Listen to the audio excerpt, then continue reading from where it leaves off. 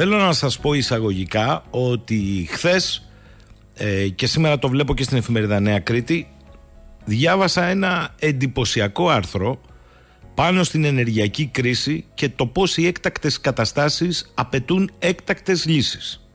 Το υπογράφει ο κύριος Χρήστος Κολοβός, διδάκτορ μηχανικός μεταλλίων, μεταλλουργός μηχανικός του Εθνικού Μετσόβιου, τέος διευθυντής του κλάδου μεταλλευτικών μελετών και έργων της ΔΕΗ στο Λιγνητικό Κέντρο της Δυτικής Μακεδονίας και θεώρησα ότι μετά από έτσι μια εβδομάδα, δέκα μέρες έχουν περάσει, καλό είναι να τον ακούσουμε τώρα που βλέπετε τι κοσμογονικές αλλαγές συντελούνται. Κοτζάμ Γερμανία αποφάσισε να το παίξει και λίγο κουκουέ.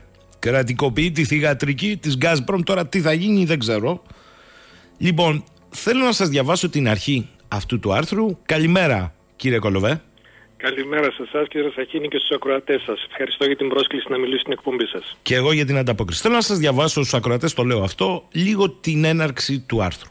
Τον Οκτώβριο του 10, ο τότε υφυπουργός Ενέργειας Μανιάτης ανακοίνωσε στη Βουλή πως η χρεοκοπημένη Ελλάδα, τον Οκτώβριο του 10, θα αντικαταστήσει το σύνολο των λιγνητικών μονάδων με μονάδες φυσικού αερίου.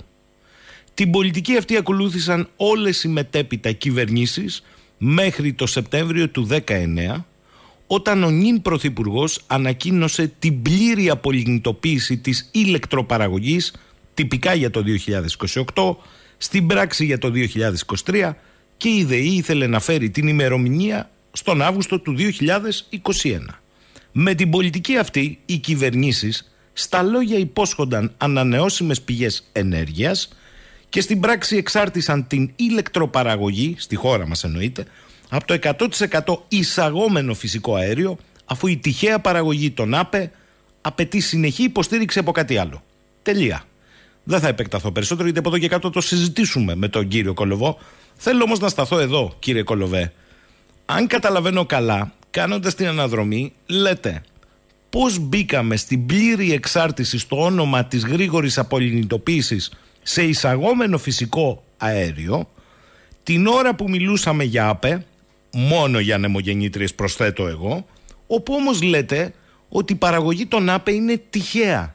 Τι εννοείται είναι τυχαία; Εννοώ ότι εκεί που φυσάει μετά από λίγο σταματάει να φυσάει, ε, ενώ τα αιωλικά παράγουν πολύ ξαφνικά ξεκινούν να μην παράγουν τίποτα και επειδή η ηλεκτροπαραγωγή βασίζεται στην ισορροπία παραγωγής ενέργειας για να καλύψει τη ζήτηση από τους καταναλωτές αν δεν υπάρχει ηλεκτρισμός να υποκαταστήσει, αν δεν υπάρχει εφεδρεία να υποκαταστήσει την παραγωγή που δίνουν τα αιωλικά θα έχουμε κατευθείαν blackout. Άρα, απλό. άρα για τη λειτουργία των αιωλικών προϋποθέτουμε ότι έχουμε και μία ε, σταθερή μονάδα βάσης παραγωγής ηλεκτρισμού εμπροκειμένου με φυσικό αέριο; Βεβαίως και πολύ τακτικά αυτές οι μονάδες είναι εν λειτουργία, δηλαδή ε, δουλεύουν, εκπέμπουν διοξείδιο του άνθρακα στην ατμόσφαιρα και είναι έτοιμες να μπουν στο σύστημα για να υποστηρίξουν την ε, τυχαιότητα της λειτουργίας των αιωλικών. Μάλιστα.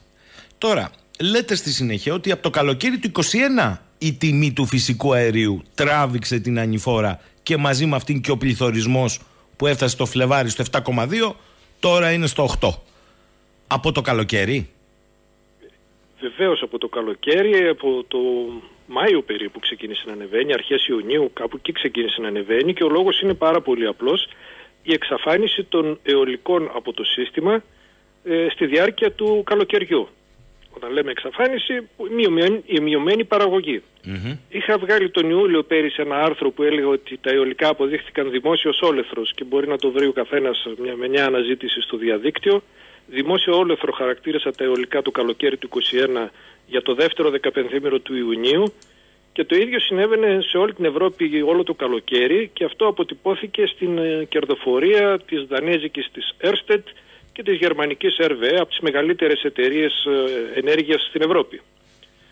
Ε, τα αιωλικά είναι εντελώς αναξιόπιστα, τα φωτοβολταϊκά είναι πολύ πιο αξιόπιστα, αλλά βεβαίως και τα φωτοβολταϊκά το βράδυ εξαφανίζονται.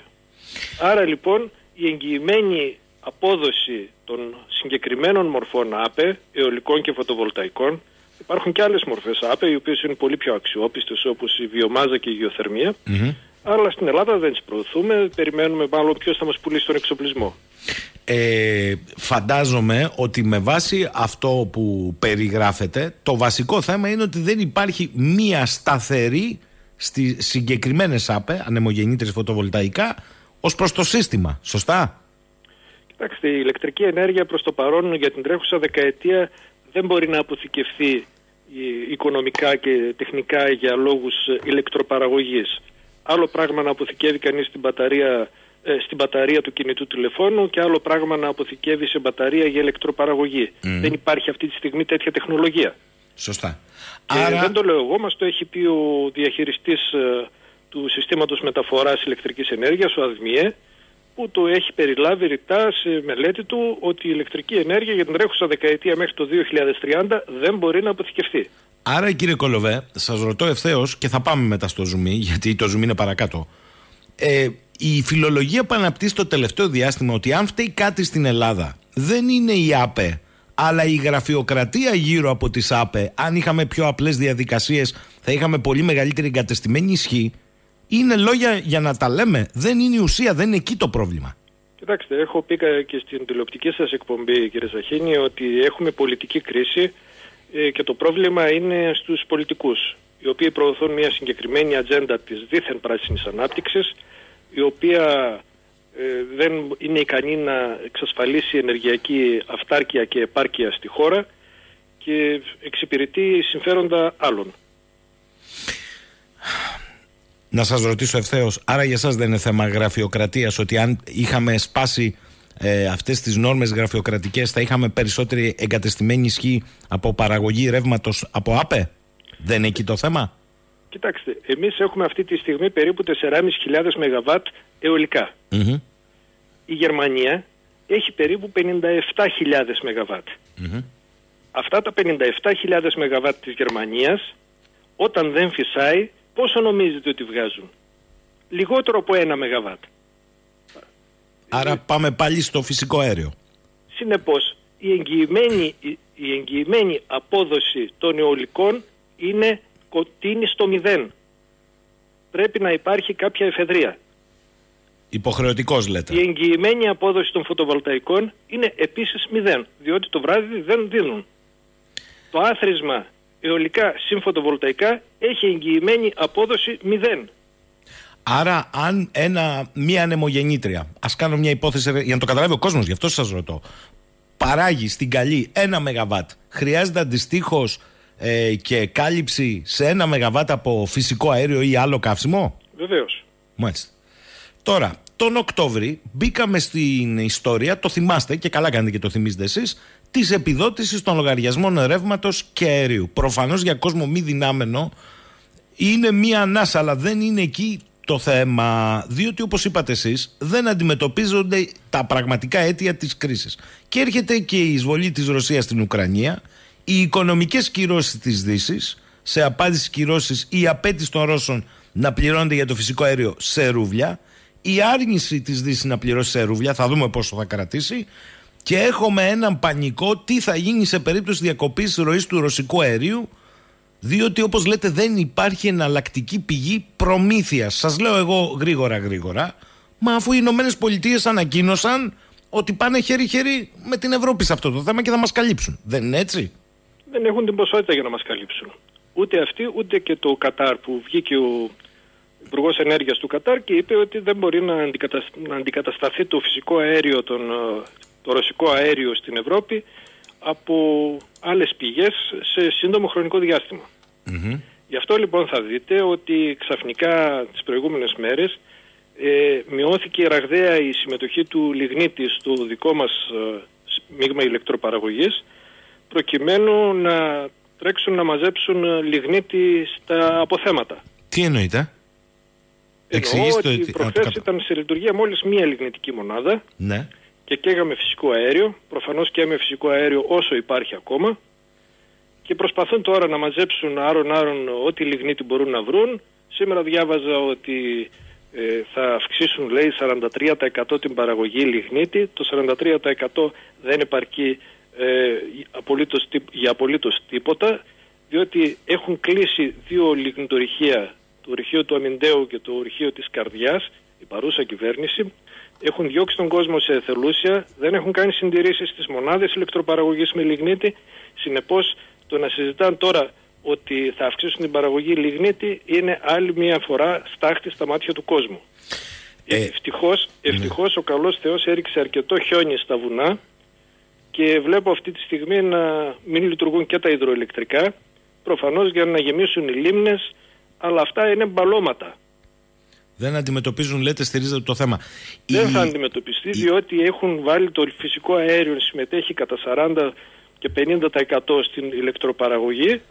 Μας λένε παραμύθια ότι οι ΑΠΕ ρίχνουν τις τιμές και προχθές είχαμε ΑΠΕ πάνω από 50% και οι τιμές δεν έπεσαν. Ε, έχετε κάνει μια καταγραφή ότι η Ευρώπη χρειάστηκε το 21 155 δισεκατομμύρια κυβικά μέτρα ρωσικού αερίου ε, ο Υπουργός Ενέργειας του Κατάρ δήλωσε πως δεν μπορεί να δώσει τέτοια ποσότητα. Οι Ηνωμένες Πολιτείες λέτε δίνουν 15 δισεκατομμύρια κυβικά μέτρα υγροποιημένου αερίου. Άρα υπάρχει ένα έλλειμμα γύρω στα 100 δισεκατομμύρια κυβικά.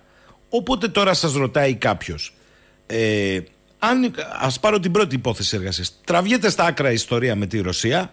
Αυτοί επιμένουν στο ρούβλι ε, με τον τρόπο που εξήγησαν εμείς επιμένουμε όχι τι γίνεται κινδυνεύει η ηλεκτροπαραγωγή και θα έχουμε διακοπές ρεύματος; αν δεν υπάρχει δυνατότητα ε, παραγωγής πού θα βρούμε ρεύμα; Τόσο απλό είναι Μάλιστα τώρα πείτε μου λίγο για τους λογαριασμούς τι συμβαίνει με τους λογαριασμούς των οικοκυριών και των επιχειρήσεων; Οι λογαριασμοί έρχονται διαρκώς αυξημένοι. Ναι.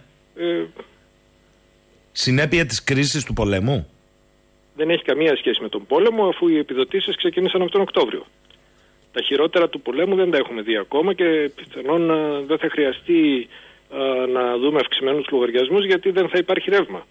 Αν κοπεί η ροή του φυσικού αερίου από τη Ρωσία δεν θα υπάρχει ρεύμα, θα υπάρχουν διακοπές ε, και τι να πληρώσει κανείς ένα αγαθό το οποίο δεν θα το παίρνει; Μάλιστα. Άρα το θέμα είναι πιο δομικό, δηλαδή όσον αφορά τα υψηλά τιμολόγια. Έχει σχέση με την αγορά ηλεκτρισμού στην Ευρωπαϊκή Ένωση και θέλω να μας μιλήσετε λίγο στα, για τα τρία διαφορετικά χρηματιστήρια για να το καταλάβει και ο κόσμος τι συμβαίνει. Έχουμε τρία διαφορετικά χρηματιστήρια, κύριε Σαχίνη, τα οποία παρεμβαίνουν στη διαμόρφωση της τιμής, η οποία καταλήγει στο λογαριασμό του καταναλωτή. Το ένα χρηματιστήριο είναι το χρηματιστήριο που διαπραγματεύεται η τιμή του φυσικού αερίου, καθώς το 40% της ηλεκτροπαραγωγής μας έρχεται, προέρχεται από το φυσικό αέριο. Η παρέμβαση στην τιμή του φυσικού αερίου ε, δεν μπορεί να γίνει καθώς μπλέκονται χώρες και συμφέροντα από όλες τις υπήρους. Συνεπώς ε, δεν, ε, δεν είναι εφικτό αυτό το πράγμα να παρέμβει κανείς στην, στο χρηματιστήριο του φυσικού αερίου. Ε, υπάρχει επίσης το χρηματιστήριο όπου διαπραγματεύεται το δικαίωμα εκπομπής αερίων του θερμοκηπίου που στην πράξη είναι αέρας κοπανιστός. Έτσι τον αποκαλώ. Ε, είναι ένα θεωρητικό μέγεθος ε, το οποίο λέγεται δικαίωμα εκπομπής αερίων του θερμοκηπίου mm-hmm. διαπραγματεύεται στα χρηματιστήρια και ως γνωστό στα χρηματιστήρια εκτός από φυσικές παραδόσεις παίζεται και αέρας. Υπάρχουν εικονικές παραδόσεις. Ισχύει ότι οδήγησε όμως αυτό την τιμή λίγο κάτω από τα 100 ευρώ τον τόνο; Αυτό που οδήγησε την τιμή κάτω από τα 100, λίγο κάτω από τα 100 ευρώ τον τόνο είναι η χειραγώγηση της τιμής από την Ευρωπαϊκή Ένωση η οποία πρώτα από το 2019 απέσυρε ποσότητες δικαιωμάτων από την αγορά προκειμένου να ανεβεί η τιμή, να μειώσει τη ζήτηση, Α, ε, να μειώσει την προσφορά και να αυξηθεί η ζήτηση και να ανεβεί η τιμή.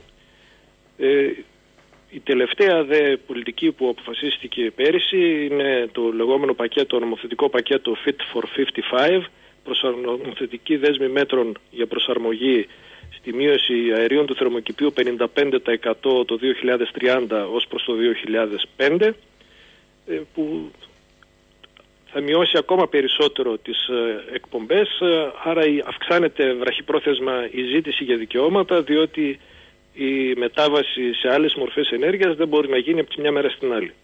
Ε, είναι εύκολο να έχεις μια αντιστροφή κίνηση, δηλαδή να επαναφέρεις έστω κάποιες από τις ποσότητες που τεχνικά έχεις αποσύρει στα δικαιώματα για να ανακουφίσεις τους καταναλωτές; Πανεύκολο είναι, απλά χρειάζεται πολιτική απόφαση η οποία δεν υφίσταται. Μάλιστα. Να σας πω επίσης ότι υπάρχει και το τρίτο χρηματιστήριο. Εκεί έρχομαι τώρα. Το χρηματιστήριο της διαπραγμάτευσης της τιμής της ηλεκτρικής ενέργειας, όπου ναι. εκεί πια γίνεται το έλα να δεις. Δηλαδή; Δηλαδή η κυβέρνηση δίνει επιδοτήσεις uh, στους λογαριασμούς, οι οποίες δεν φτάνουν στους καταναλωτές, πηγαίνουν απευθείας στους παρόχους, οι οποίοι με τον τρόπο αυτό δεν έχουν το παραμικρό κίνητρο να μειώσουν τις τιμές ε, τις οποίες προσφέρουν στο χρηματιστήριο. Ωραία, μισό λεπτό. Έχουμε ένα πολύ ρηχό χρηματιστήριο όπου μόνο, μόνο τέσσερις εταιρείες είναι ταυτόχρονα παραγωγή ενέργειας και ε, προσφέροντες προσφέρουν τιμές στο χρηματιστήριο, όλοι οι υπόλοιποι είναι έμποροι, ε, συνεπώς ε, χρειάζονται άμεσες παρεμβάσεις ε, στο χρηματιστήριο και θα μπορούσε προσωρινά και να ανασταλεί η διαπραγμάτευση στα χρηματιστήρια, αλλά αυτά χρειάζονται πολιτικές αποφάσεις. Γι' αυτό σας είπα από την αρχή ότι έχουμε πολιτική κρίση, δεν έχουμε ενεργειακή. Μπορεί να καταργηθεί η περίφημη, αυτό που συζητάει ο κόσμος, ε, που, που είναι η μεγάλη του αγχώνη, η ρήτρα αναπροσαρμογής. Αυτή μπορεί να καταργηθεί. Όλα γίνονται και γίνονται ναι. με πολιτικές αποφάσεις. Συγγνώμη, πώς έχει προκύψει αυτή; Αυτή προέκυψε η ρήτρα, υπήρχε ως ρήτρα ε, υπήρχε ως ρήτρα οριακής της τιμής συστήματος Μάλιστα. Στις, στους λογαριασμούς των ιδιωτών παρόχων ναι. ε, δεν υπήρχε στη ΔΕΗ όπου υπήρχε μια ρήτρα διοξιδίου του άνθρακα. Η Ρυθμιστική Αρχή Ενέργειας ζήτησε από τη ΔΕΗ να καταργησει αυτή την ε, ρήτρα διοξιδίου του άνθρακα και να βάλει ρήτρα αναπροσαρμογής όπως είχαν ε, οι ιδιώτες πάροχοι και επειδή η ΔΕΗ έχει το 64% της αγοράς ε, όταν έβαλε η ΔΕΗ την ρήτρα αναπροσαρμογής στους λογαριασμούς, φάνηκε το πρόβλημα πολύ πιο έντονα από ό,τι ε, ήταν το προηγούμενο διάστημα. Άρα πρακτικά εδώ έχεις ένα προϊόν που πρώτα το καταναλώνεις και μετά μαθαίνεις την τιμή του; Αυτό ακριβώς συμβαίνει. Μάλιστα. Πάμε λίγο σε αυτό που λέτε. Δεν υπάρχει λόγος, γράφετε, η μέση τιμή, γιατί κάνετε προτάσεις. Η μέση τιμή ημέρας να προσδιορίζεται από την πιο ακριβή μονάδα που μπαίνει στο σύστημα καθώς η μονάδα αυτή θα είναι πάντα αερίου και στις τρέχουσες τιμές θα εκτοξεύει τη μέση τιμή στην οποία αγοράζουν όλοι οι πάροχοι. Όπως μάλιστα λέτε δείχνουν τα συμβόλαια μελλοντικής εκπλήρωσης, για το σύνολο του 2023, όχι 2022, δεν προβλέπεται επιστροφή των τιμών στα προ-πανδημίας επίπεδα. Για εξηγήστε το λίγο αυτό με τη μέση τιμή ημέρας.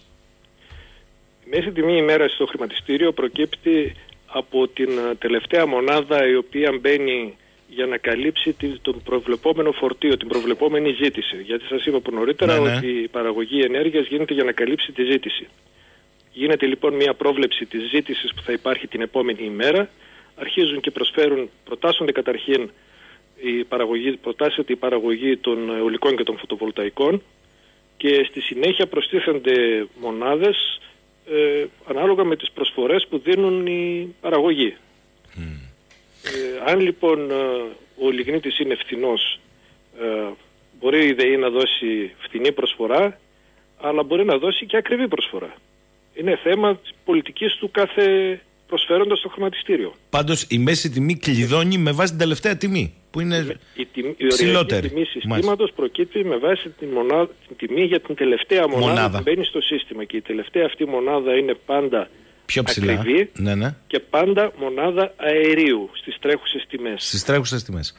Ε, το επόμενο που λέτε είναι ότι δεν υπάρχει λόγος να προτάσετε η ένταξη των ανανεώσιμων πηγών ενέργειας στον ΑΠΕ στο σύστημα καθώς πλέον είναι όριμη τεχνολογία τον ΑΠΕ και δεν έχει ανάγκη περαιτέρω ενίσχυσης. Μας λέτε δηλαδή ότι πληρώνουμε την ενίσχυση ε, των ΑΠΕ έτσι; Ως ε, μια τεχνολογία που μπαίνει στο σύστημα. Λέτε αυτό πια δεν ισχύει. Το αντίθετο μάλλον λέτε. Θα έπρεπε η ΑΠΕ να επιβαρύνεται με το κόστος σταθεροποίησης και όχι να το πληρώνει ο καταναλωτής. Βεβαίως. Καταρχήν ε, τις ε, ΑΠΕ τις επιδοτούμε για 20 χρόνια τώρα. Ε, στη Γερμανία είχε βγει ο νόμος για τις ανανεώσιμες πηγές κάπου στο 99 2000 που έδινε τις ε, μεγάλες επιδοτήσεις. Αυτός ο νόμος μεταφέρθηκε, αντιγράφηκε από την κυβέρνηση Παπανδρέου στο ελληνικό σύστημα. Ε, νωρίτερα υπήρχε ο νόμος για τις άπη επικυβέρνησης Καραμανλή που έδινε και πολύ μεγάλες τιμές στα φωτοβολταϊκά τις οποίες ακόμα τις πληρώνουμε ε, και σε κάθε περίπτωση μετά από μια εικοσαετία που υπάρχουν ε, οι ΑΠΕ είναι πλέον μια όρημη τεχνολογία οι τιμές της, ε, στην κατασκευή των ανεμογεννητριών και των φωτοβολταϊκών έχουν πέσει, δεν υπάρχει καμιά ανάγκη περαιτέρω ενίσχυσης και προτιμησιακής συμπεριφοράς. Ε, σε κάθε περίπτωση, ακριβώς επειδή τα αιωλικά ανεβοκατεβάζουν φορτία ανάλογα με το πόσο φυσάει ή δεν φυσάει, ε, δημιουργούν προβλήματα ευστάθειας στο δίκτυο της μεταφοράς. ε, και αυτά τα προβλήματα ευστάθειας ε, είχαν αποτέλεσμα να σκάσει ένας μετασχηματιστής στο μεγαλύτερο κέντρο υπερυψηλής τάσης της Αττικής στον Ασπρόπυργο το Φεβρουάριο του 2021 και αμέσως έσπευσε ο ΑΔΜΙΕ να, να ζητήσει την επιβεβλημένη παραγωγή κατά προτεραιότητα των θερμικών και των υδροηλεκτρικών μονάδων, δηλαδή των μονάδων εγγυημένης αξιοπιστίας. Μάλιστα. Λέει εδώ μία ακροάτρια όσο σας ακούει καλημέρα σας λέει μόνο το Σαββατοκύριακο εξαιτίας της μειωμένης ζήτησης και της αυξημένης παραγωγής ενέργειας από ΑΠΕ και μονάδες βάσης ελάχιστες εντός του δικτύου αναγκαστήκαμε να κάνουμε αποκοπή αιωλικών για να μην επέλθουμε σε blackout για την ασφάλεια του δικτύου δεν μιλάει κανείς. Παίζει και αυτό; Βεβαίως παίζει και αυτό. Το, ο Μάρτιος και ο Απρίλιος είναι παραδοσιακά, η Άνοιξη γενικά είναι μια, παραδοσιακά μια περίοδος όπου τα φορτία πέφτουν πάρα πολύ. Ε, μάλιστα την Κυριακή νομίζω το απόγευμα είχε πέσει κάτω και από τα 2.000 ΜΒ η ζήτηση στο σύστημα ε, και βεβαίως ε, δεν υπήρχε λόγος να παράγεται ενέργεια. Ε, έτσι λοιπόν είδαμε μόνο μία λιγνητική μονάδα να είναι σε λειτουργία και για κάποιο διάστημα εκεί έπεσε και η τιμή γιατί κανένας δεν ήθελε το ρεύμα και όλοι προσπαθούσαν όπως όπως να το ξεφορτωθούν.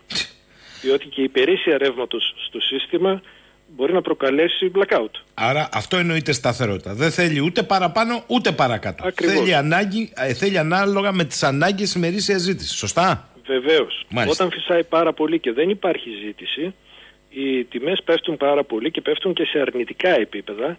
Δηλαδή στην πράξη οι παραγωγοί αιωλικής ενέργειας πληρώνουν το σύστημα για να απορροφήσει την ενέργεια προκειμένου να μην σταματήσουν τα αιωλικά. Και έχουν περιθώριο να πληρώσουν διότι έχουν εξασφαλίσει υπερκέρδη από την εγγυημένη απορρόφηση τις υπόλοιπε ημέρες.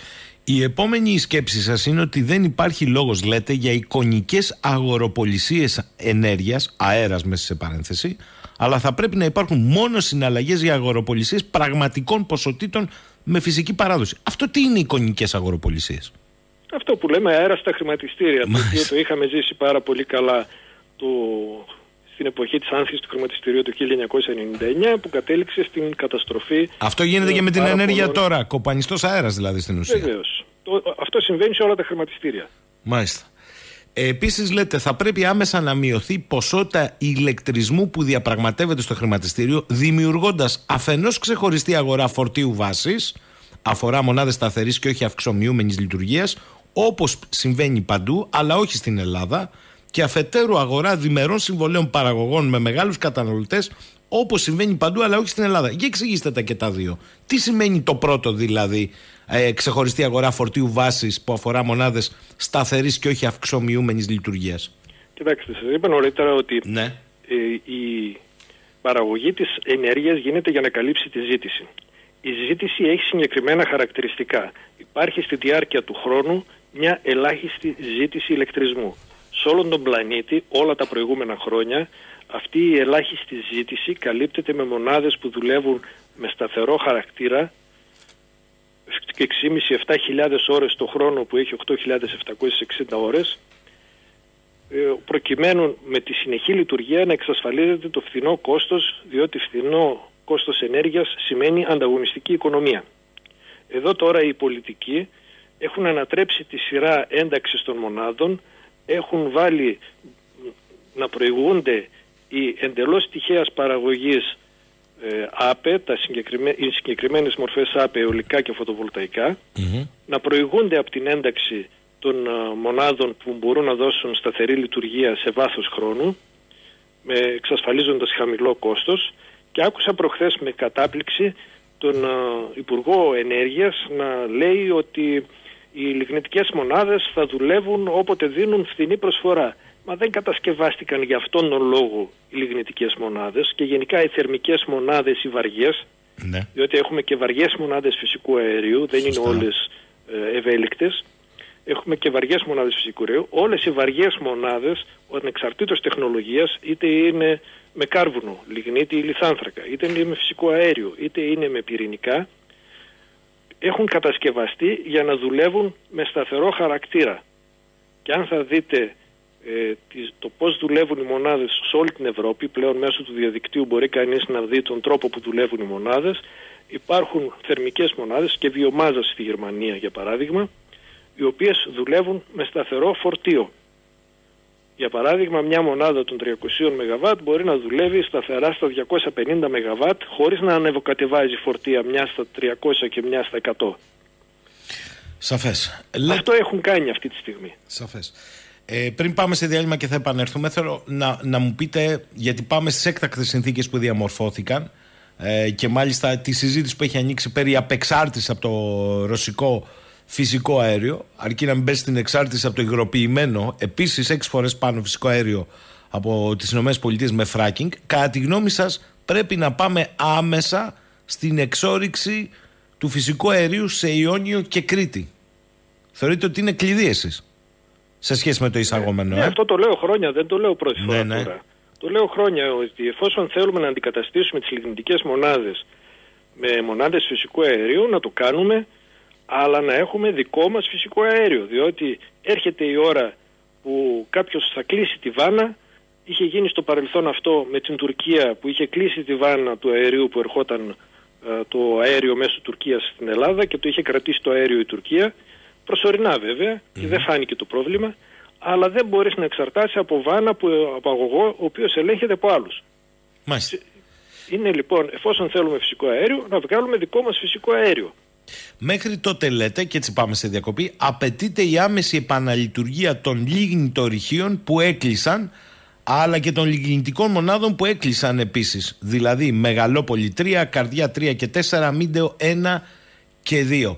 Αυτές οι μονάδες τι μπορούν να μας δώσουν; Αυτές οι μονάδες καταρχήν δεν είναι τυχαίας λειτουργίας όπως είναι τα αιωλικά και τα φωτοβολταϊκά, είναι σταθερής λειτουργίας και μπορούν άμεσα να δώσουν 1520 ΜΒ αξιόπιστης και εγχώριας ισχύω στο σύστημα, μειώνοντας άμεσα και αντίστοιχα την κατανάλωση ρωσικού αερίου. Διότι οι θερμικές μονάδες αντικαθίστανται με θερμικές μονάδες. Δεν αντικαθίστανται με τυχαίες ε, μορφές ε, παραγωγής. Και οι εκπομπές θα σας πει κάποιος διοξιδίου του άνθρακα; Ναι, να μην ανησυχεί κανείς για τις εκπομπές διοξιδίου του άνθρακα, διότι η Γερμανία έχει 8 φορές ε, μεγαλύτερο πληθυσμό από την Ελλάδα, αλλά και πάνω από 40 φορές ε, περισσότερο κάρβουνο από την Ελλάδα. Α. Συνεπώς, ας μειώσει καταρχήν η Γερμανία τις εκπομπές διοξιδίου του άνθρακα και βλέπουμε για τις δικές μας. Μείνετε... Εμείς έχουμε δώσει. Μάλιστα. Δεν δεν θα- δεν- δεν χρειάζεται να δώσουμε κι άλλο. Μείνετε... Έχουμε μειώσει την παραγωγή, την, εκ- τις εκπομπές διοξιδίου του άνθρακα από το 2004 που κάναμε την Ολυμπιάδα ε, ατελείωτες φορές. Λέει εδώ η φίλη μου η Βάσο, καλημέρα στον κύριο Κολοβό, συγχαρητήρια. Βάζει το θέμα σε αμυγός πολιτική βάση και αυτό δυστυχώς αφορά όλους και την αντιπολίτευση. Όχι μόνο το κυβερνόν κόμμα και τα κόμματα της αντιπολίτευσης που δίνουν μάχη σε εισαγωγικά για το ύψος των επιδομάτων και δεν βλέπουν την ουσία. Και λέει εδώ ο Γιάννης από το παλιό φάλιρο, πόσο πιθανό θεωρεί ο κύριος Κολοβός το καλοκαίρι, σε full σεζόν, με γεμάτη την Ελλάδα από τουρίστες, να έχουμε απανότα blackout με αυτή την εικόνα; Κοιτάξτε, οι κυβερνήσεις ε, οι ευρωπαϊκές έχουν συμπεριφερθεί ως μωρές παρθένες και έχουν εξαρτήσει την ε, ηλεκτροπαραγωγή από εντελώς τυχαίες, ε, τυχαίους τρόπους παραγωγής όπως είναι τα αιωλικά και τα φωτοβολταϊκά ανακοινώνοντάς μας βαρύγδουπα ότι η καύσιμο γέφυρα θα είναι το φυσικό αέριο. Έρχεται η ώρα που δεν θέλουμε πια το ρωσικό αέριο γιατί φαίνεται ότι στον πλανήτη δεν μπορούμε να ζούμε ειρηνικά και να έχουμε εμπορικές ανταλλαγές και πρέπει να έχουμε επικυριαρχία του ενός επί του άλλου και είναι πλέον πολύ πιθανό ότι το καλοκαίρι εάν διακοπεί η ροή του φυσικού αερίου ε, θα έχουμε διακοπές ρεύματος και ο μόνος τρόπος για να μην έχουμε διακοπή ρεύματος θα είναι να, οι μονάδες που είναι σήμερα με φυσικό αέριο να, όσες μπορούν να καίνε πετρέλαιο. Αν τώρα θεωρείτε ότι η ηλεκτροπαραγωγή από πετρέλαιο είναι φθηνή υπόθεση, Θυμηθείτε ότι για χρόνια η Κρήτη ηλεκτροδοτούνταν με πετρέλαιο και τα μη διασυνδημένα νησιά ηλεκτροδοτούνται επίσης ακόμα με πετρέλαιο και πληρώνουμε όλοι οι Έλληνες τις ε, υποχρεώσεις κοινής ωφέλειας, τις οποίες μας είχαν τάξει ότι θα μειωθούν όταν γίνει η διασύνδεση της Κρήτης με την Πελοπόννησο και αυτή τη μείωση δεν την βλέπουμε πουθενά πλέον. καλά, μη δείτε μείωση. Λέει ο φίλος ο Γιάννης από τη Ρόδο, καλημέρα, λέει στον κύριο Κολοβό. Ρώτησε τον σε παρακαλώ, αν γνωρίζει το αέριο του Κατάρ μήπως είναι ήδη πουλημένο; Αυτό δεν το γνωρίζω. Δεν το γνωρίζω. Ε, βλέπετε εδώ ρωτάει ο κόσμος. Ο φίλος ο Μιχάλης. Ε, μία ερώτηση λέει θέλω στον κύριο Κολοβό τον άκουσα και το είπε για τη γεωθερμία θα μπορούσαν πηγές όπως για παράδειγμα το ηφαίστειο στην Ίσυρο να παράγουν ενέργεια και μάλιστα σε μεγάλες ποσότητες ή όχι; Θα μπορούσε το ηφαίστειο στην Ίσυρο και το ηφαίστειο στην Μήλο και το ηφαίστειο στη Λέσβο, θα μπορούσαν και το ηφαίστειο στα Μέθανα, θα μπορούσαν όλα αυτά, το ηφαιστειακό τόξο που έχουμε στην Ελλάδα, θα μπορούσε να δώσει γεωθερμία. Ε, η Ισλανδία για παράδειγμα ε, παίρνει την ενέργειά της από γεωθερμία. Mm-hmm. Η Ισλανδία των 300.000 κατοίκων βεβαίως, έτσι δεν είναι. Η ναι, Ελλάδα ναι. των 10,5 ε, εκατομμυρίων κατοίκων. Αλλά, εν πάση περιπτώσει, η γεωθερμία θα μπορούσε να δώσει κάτι ε, στην Εύβοια, στις θερμοπύλες. μεγάλες ποσότητες. Θα έδινε κάτι όμως, λέτε. Που το θα έδινε κάτι, αλλά όχι σε μεγάλες ποσότητες. Μάλιστα. Ε, Άλλος φίλος λέει: Ρωτήστε σας παρακαλώ τον κύριο Κόλοβο, δεν είναι λάθος η πολιτική λοιπόν φωτοβολταϊκά σε αγροτικές εκτάσεις αντί να τις καλλιεργούν που έχουμε επισητιστική κρίση, κτηνοτροφική κρίση, αντί για με ένα γενναίο, ευέλικτο, εκεί πραγματικά μη γραφειοκρατικό σύστημα για φωτοβολταϊκά στέγες μας. Ευχαριστώ πολύ τον ακροατή σας για την ερώτηση. Αύριο έρχεται ο Πρωθυπουργός στην Κοζάνη όπου ζω εγώ να εγκαινιάσει ένα μεγάλο φωτοβολταϊκό εργοστάσιο που το λένε κατεφημισμό πάρκο και είναι του ομίλου των ελληνικών πετρελαίων και αν θα το δείτε, που θα το δείτε σε βίντεο αύριο ε, έχουν μετατρέψει την περιοχή σε κρανίου τόπο. Η περιοχή όπου έχει εγκατασταθεί το συγκεκριμένο φωτοβολταϊκό ήταν α, βοσκοτόπια, βοσκούσαν γίδια, βοσκούσαν γελάδια, ε, είχε ατελείωτη πανίδα, πέρδικες, ε, λαγούς, αγριογούρουνα, επίσης βοσκούσαν ημιάγρια εκτρεφόμενα ε, γουρούνια. Ε, υπάρχει πολλή βλάστηση όπου πετούν μέλισσες και όλο αυτό το πράγμα έχει γίνει μια οικολογική καταστροφή αλλά θα παρουσιαστεί αύριο με τα φανών και λαμπάδων ότι να θα έχουμε πράσινη ενέργεια και θα καλύψουμε τις ανάγκες μας. Θα καλύψουμε τις ανάγκες μας το μεσημέρι αλλά το βράδυ δεν θα δίνει απολύτως τίποτα. Έτσι, διότι η ηλεκτρική ενέργεια δεν αποθηκεύεται. Και βεβαίως θα μπορούσαμε να τα βάλουμε στις στέγες το έχω γράψει και σε ξεχωριστό άρθρο αυτό το πράγμα, διότι στην, στο Βερολίνο πρόσφατα πέρασαν νομοθεσία όλα τα νέα κτίρια υποχρεωτικά να έχουν φωτοβολταϊκά στις ε, ταράτσες και στα, στις σκεπές αλλά στην Ελλάδα δεν βάζουμε ε, φωτοβολταϊκά στις, ε, στις στέγες επειδή πρέπει να τα βάλουμε σε μεγάλα χωράφια προκειμένου να συνδεθούν κατευθείαν το στο δίκτυο της υψηλής τάσης επειδή δεν φροντίσαμε να κάνουμε επενδύσεις στο δίκτυο της χαμηλής τάσης. Αυτό είναι το κλειδί λέτε, για, για να το ξεκαθαρίσουμε. αυτό είναι το κλειδί και κοροϊδεύουν την κοινωνία μονίμως οι πολιτικοί. Σας έχω πει προηγουμένως ότι έχουμε πολιτική κρίση. Άρα όταν. Μισό, μισό λεπτό. Μισό λεπτό, κύριε Κολοβέ. Ενδιαφέρονται για τα συμφέροντα των λίγων. Μισό λεπτό, να το καταλάβει ο κόσμος. Ο πολίτη, αυτό με ενδιαφέρει εμένα. Λέτε ότι αν πραγματικά υπήρχε μια πολιτική όπου ο κάθε πολίτης και οι επιχειρήσεις φυσικά, ιδίως οι μικρομεσαίες που έχουμε αυτή τη φύση στην Ελλάδα ε, και τα χαρακτηριστικά στις επιχειρήσεις, ε, έβαζε στη στέγη του, πρακτικά είχε ένα θέμα με τη διασύνδεσή του στο σύστημα αυτή τη στιγμή.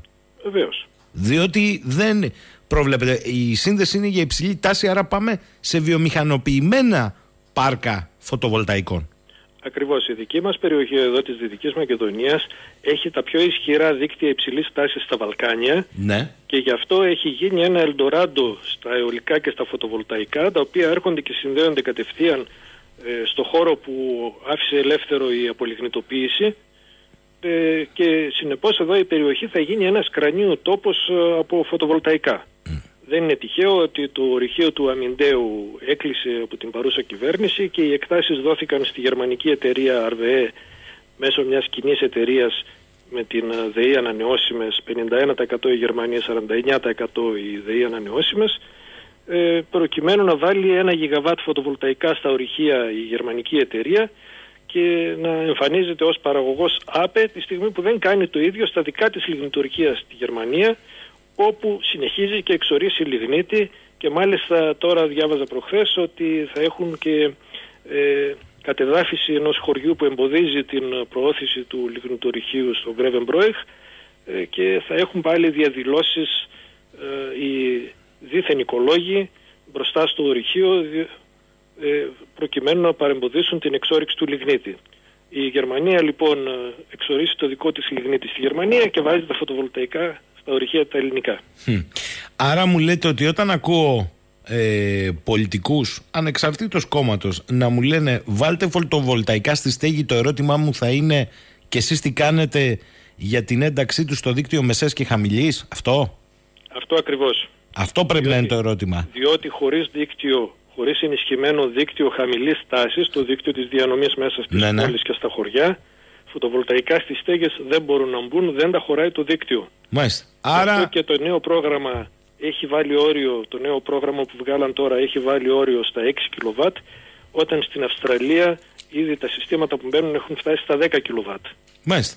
Και είχε, να συμπληρώσω ότι ναι. το 2019 το Ερευνητικό Κέντρο της Ευρωπαϊκής Ένωσης ε, είχε βγάλει μια μελέτη που έλεγε ότι στις ελληνικές στέγες έχουμε 128 τετραγωνικά χιλιόμετρα επιφάνεια που μπορούν να χωρέσουν φωτοβολταϊκά από τα οποία μπορούμε να πάρουμε το 1 τρίτο των αναγκών μας σε ηλεκτρισμό των ετήσιων αναγκών, αλλά οι πολιτικοί δεν το κάνουν. Μάλιστα. Άρα εγώ όταν μου πούνε, ξέρεις ε, κύριε Κολοβέη, κύριε Σαχίνη, αν πραγματικά ενδιαφέρεσαι θα βάλεις φωτοβολταϊκό στέγη, θα του πω εγώ θα το βάλω, αλλά πες μου τι κάνεις στα δίκτυα χαμηλής τάσης. Σωστά; Ακριβώς. Μάλιστα. Ακριβώς. Πολύ σωστά. Διότι διαφορετικά με παραμυθιάζεις. Έχεις τα δίκτυα υψηλής τάσης για να πάνε οι βιομηχανοποιημένες όπως τις περιγράψατε καταστάσεις. Για να καταλαβαίνουμε τι γίνεται. Ε, λέει η φίλη μου η Κατερίνα εδώ, εκτιμά ο κύριος Κολοβός ότι δεν πρόκειται να επιστρέψουμε στις προ-πανδημίας περιόδους τιμολογιακά έτσι όπως πάνε τα πράγματα; Με το ισχύον σύστημα ποτέ δεν θα επανέλθουμε. Ποτέ. Το έχω πει και στην τηλεοπτική σας εκπομπή νομίζω ότι πάμε σε μια εποχή νέας κανονικότητας όπου θα είμαστε όλοι ενεργειακά φτωχοί και γενικά φτωχοί είναι η νέα κανονικότητα ε, που θέλει τους πολίτες πάμφτωχους και εξαρτημένους ε, από ε, την πολιτική και από τις τράπεζες. Λέει εδώ Κώστας, στη Γερμανία δεν έχουν ήλιο. Να μην το ξεχνάμε αυτό. Εδώ που έχουμε ήλιο θα έπρεπε να το εκμεταλλευτούμε αλλά δεν το κάνουμε. Σαφές. Ο φίλος, ο Κούλης από τη Θεσσαλονίκη. Καλημέρα λέει στον κύριο Κολοβό. Αναφερθήκατε κι εσείς και πολλοί άλλοι πολιτικές ευθύνες. Δεν έχω ακούσει κανέναν όμως να λέει ότι αυτά που συνέβησαν στη ΔΕΗ και ήσασταν στη ΔΕΗ, κύριε Κολοβέλη, είναι πολιτικές των μνημονίων που επέβαλαν και οι δανειστές για την εξυπηρέτηση του χρέους. Ισχύει αυτό; Ή θα μπορούσαν να έχουν άλλες επιλογές οι εκάστοτε κυβερνώντες όταν εφάρμοζαν τις μνημονιακές απαιτήσεις και στη ΔΕΗ; Κοιτάξτε, το διαβάσατε όταν ξεκινήσαμε τη συζήτηση. Τι συνέβη το 2010 όταν βγήκε ο Υφυπουργός τότε, ο Μανιάτης, στη Βουλή τον Οκτώβριο του 2010 και είπε ότι θα αντικαταστήσουμε τις λιγνητικές μονάδες με μονάδες φυσικού αερίου, αυτό ήταν συνέπεια της ένταξης στα μνημόνια τον Απρίλιο του 2010. Το οποίο ακολούθησαν όλοι μετά, ο ένας πίσω από τον άλλο. Βεβαίως. Θέλω να σας ευχαριστήσω κύριε Κολοβέ για αυτή τη συζήτηση σήμερα και για τις απαντήσεις. Στο μέτρο που εσείς μπορούσατε και κρίνατε προς τους ακροατές. Θα τα ξαναπούμε. Καλή σας ημέρα. Καλημέρα και σε εσάς και στους ακροατές σας.